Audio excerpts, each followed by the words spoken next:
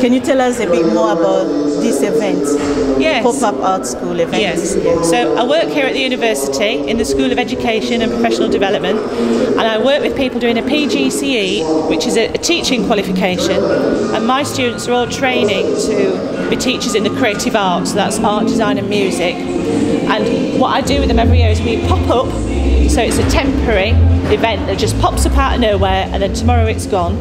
So we pop up around an activity, and today we've popped up around this music event as part of the music festival. Today's theme is the sound system culture.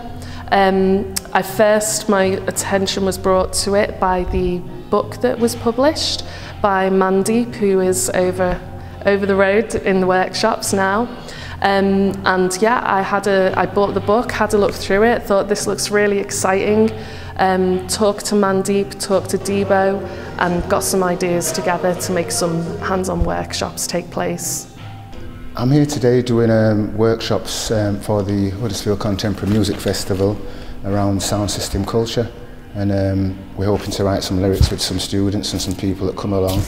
And um, get them to perform on the heritage sound system across the road. Can you tell us about the activities? Yes, yeah, yeah. So they're all training to be arts teachers, so they've had to think of uh, activities because anybody could walk up to them, you know, whether they're small or a senior citizen, uh, an adult, anybody can walk up. So they've had to design an activity that all ages, all abilities could engage with.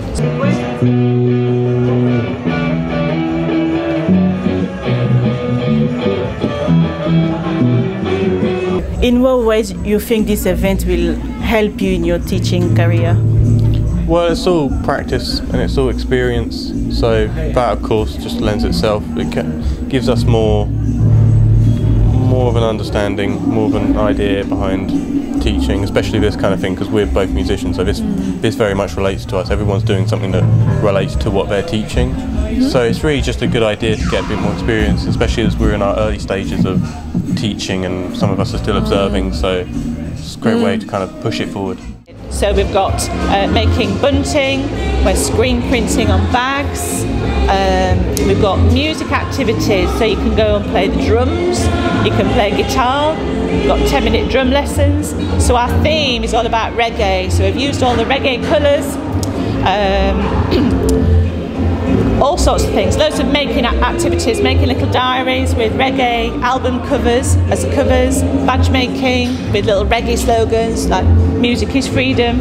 Learning how to interact with different levels of, of ability, uh, really. You know, people coming here, they can be beginners, it doesn't matter, they can pick the instrument up, have a go, and uh, see what it really sounds like without actually having to play the instrument.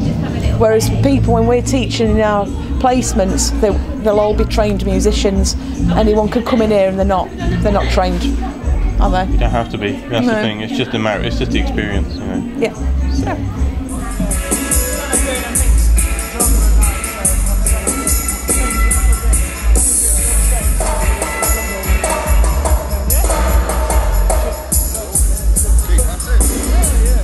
What's the message behind reggae music?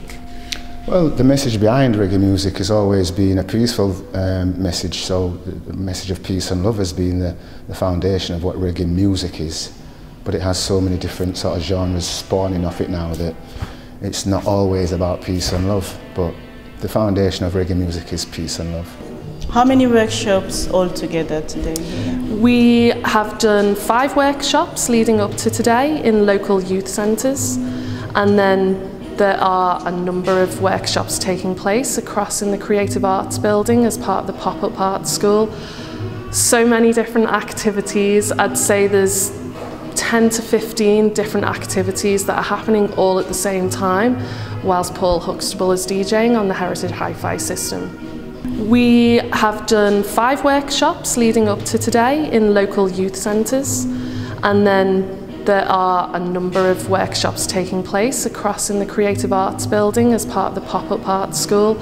I like to root the theme and my projects as much in the town and the town's heritage as I can, uh, just so we have an appeal to people who actually live here. It's an international music festival and we do get people coming from all over the world for the 10 days that it takes place each November. Um, but I want to make sure that people in this town um, have music that means something to them as part of those 10 days.